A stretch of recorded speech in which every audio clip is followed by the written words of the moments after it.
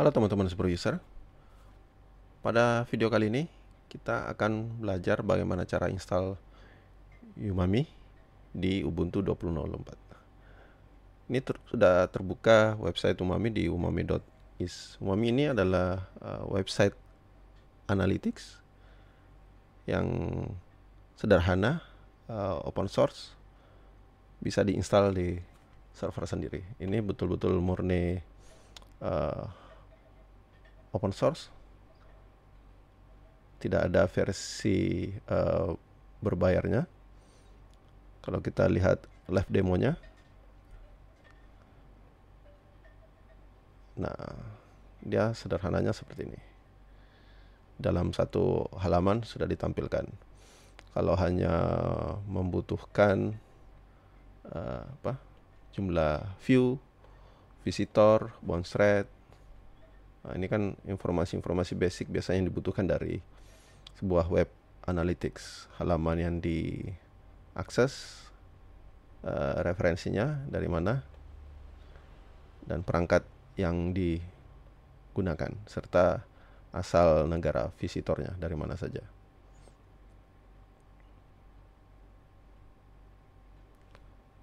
Kalau kita baca di dokumentasinya, learn more, Nah, ini ditargetkan juga dapat menggantikan uh, Google Analytics karena masalah privasi, privasi data. Selain itu, kita lihat fiturnya uh, mungkin ini yang menjadi perhatian uh, bypass ad blocker.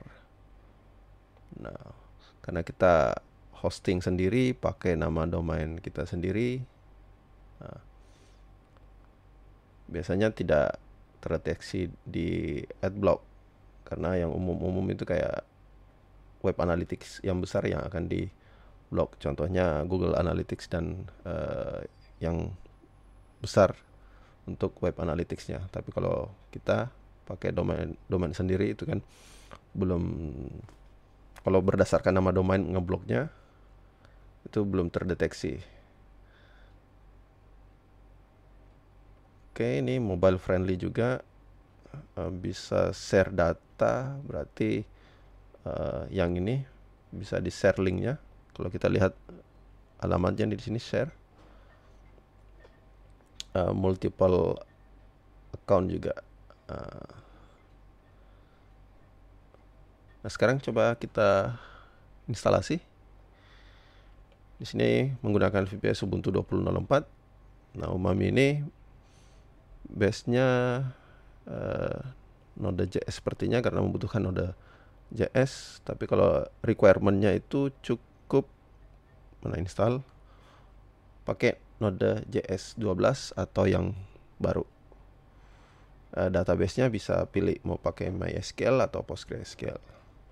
Okay.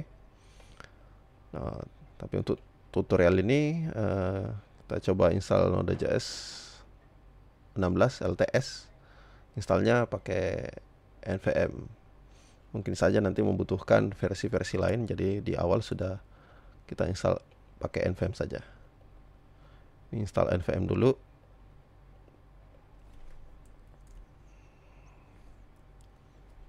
Oke. Lanjut Nah, sekarang kita install uh, Node.js versi LTS.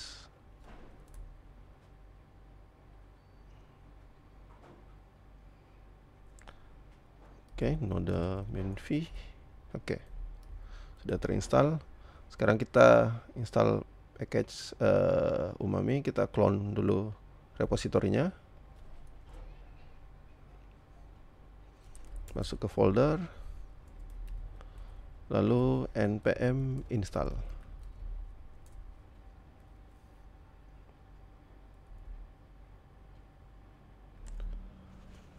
Baik npm installnya sudah selesai. Kita lanjut install MariaDB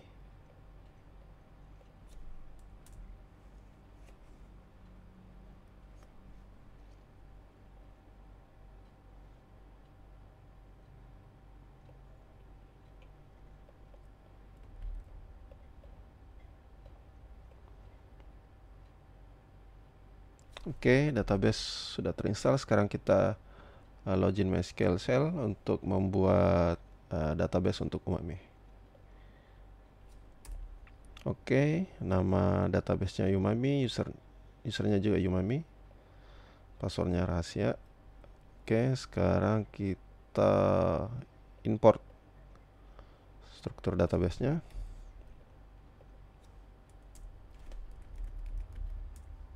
Oke, sudah. Lanjut konfigurasi membuat file .env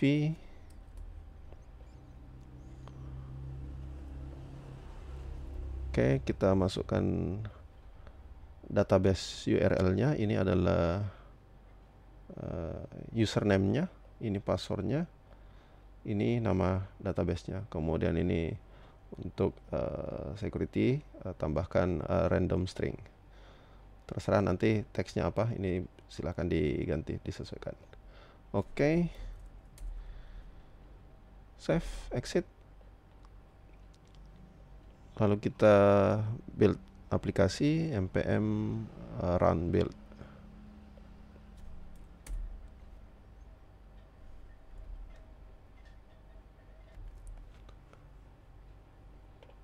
Baik, uh, proses buildnya sudah selesai. Sekarang kita bisa jalankan uh, muaminya. Kalau pakai npm start, ini langsung jalan di port uh, 3000. Nah, misalkan port 3000 ini sudah terpakai. Uh, di sini coba menjalankan dengan uh, command ini npx next start. Np 7000 ini jalan di port uh, 7000 kalau mau coba run. Nah. Coba kita akses. IP server port 7000 oke udah jalan. Tapi sekarang kita mau konfigurasi Nginx Reverse Proxy untuk akses pakai domain. Ini kita stop dulu, Ctrl C. Lalu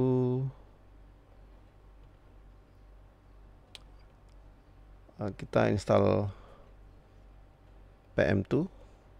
Ini untuk proses manager.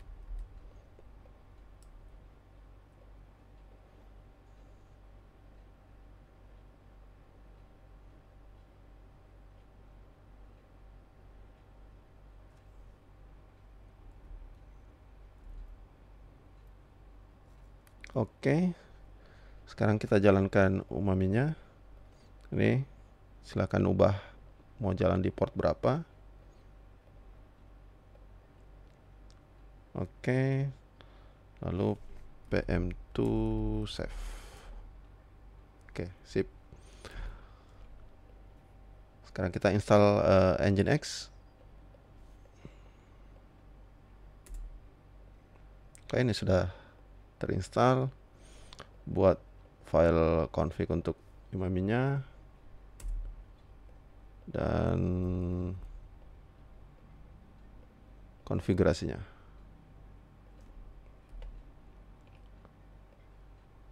Oke ini. Jangan lupa server name disesuaikan dan nomor portnya.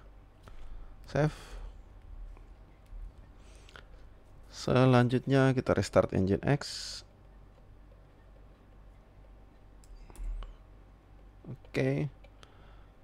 Uh, coba kita akses. Apakah sudah bisa?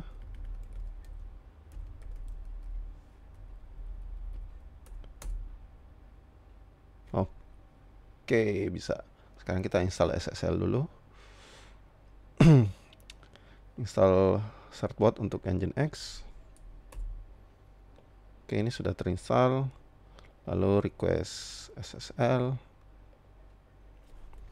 sesuaikan nama domain alamat email.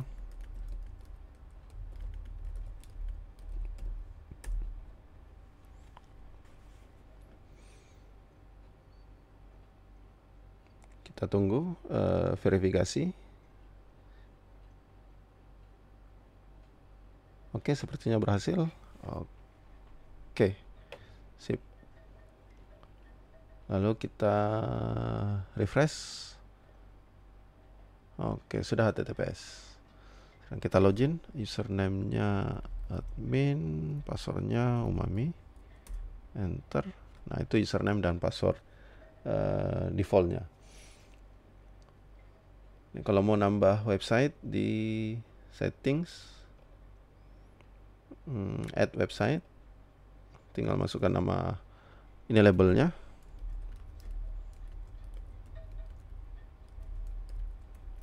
uh, passwordnya. Eh password. Nama domainnya.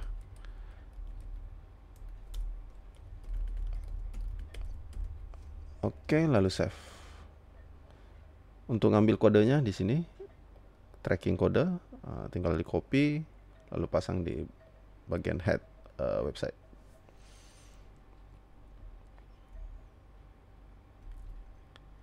Kemudian kita klik. Nah ini akan nunggu data. Yang sudah setup sebelumnya ini sudah ada hasilnya. Kalau kita klik uh, ini halaman awalnya kalau kita buka dashboard lalu kita mau lihat detailnya view details. Nah, kelihatan selama 24 jam uh, jumlah view visitor bounce rate, average, average visit time. Nah, sama persis dengan uh, live demonya.